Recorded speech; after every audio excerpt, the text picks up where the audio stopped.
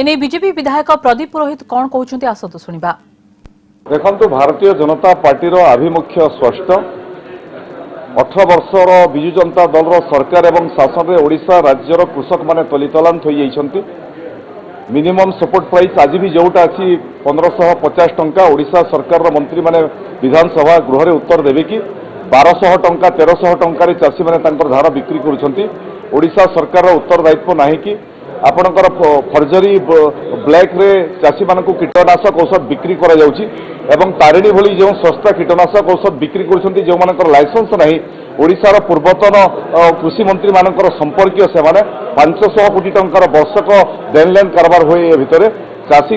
ସର୍ବସ୍ୱାନ୍ତ ହୋଇଯାଇଛନ୍ତି ବିଜୁ ଜନତା ଦଳ ସରକାରରେ ଏବଂ ଯେଉଁ ଅଦିନିଆ ବର୍ଷା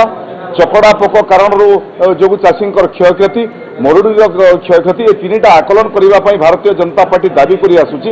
ରାଜ୍ୟ ସରକାର ତାର ସଠିକ୍ ଆକଳନ କରୁନାହାନ୍ତି ଏବଂ ଯେମିତି ରାସନ କାର୍ଡ଼ ତାଙ୍କ ଦଳର ଲୋକଙ୍କୁ ବାଣ୍ଟି ଦେଲେ କେନ୍ଦ୍ର ସରକାର ଯେଉଁ ଏସ୍ଡିଆର୍ଏଫ୍ର ଫଣ୍ଡ ଆସିକି ଅଛି ଓଡ଼ିଶା ସରକାର ପାଖରେ ଦୁଇ ହଜାର କୋଟି ଟଙ୍କା ଆଗରୁ ଥିଲା ଏବେ ଚାରିଶହ କୋଟି ଟଙ୍କା ଆସିଛି সঠিক লোককে সঠিক চাষী ভাগ চাষী নির্ণয় করে নথিবা কারণর বিজু জনতা দল তাঁর লোকঙ্ ভিতরে কর্মী ভিতরে এ পয়সা বাঁটিবা যোজনা করুছি ভারতীয় জনতা পার্টি চাহুছি প্রকৃতরে যে চাষী ক্ষয়ক্ষতি হয়েছে চকড়া পোকরে অদিনিয়া বর্ষার মরুড়ি যোগ যে ক্ষতি হয়েছে সেই চাষী মানে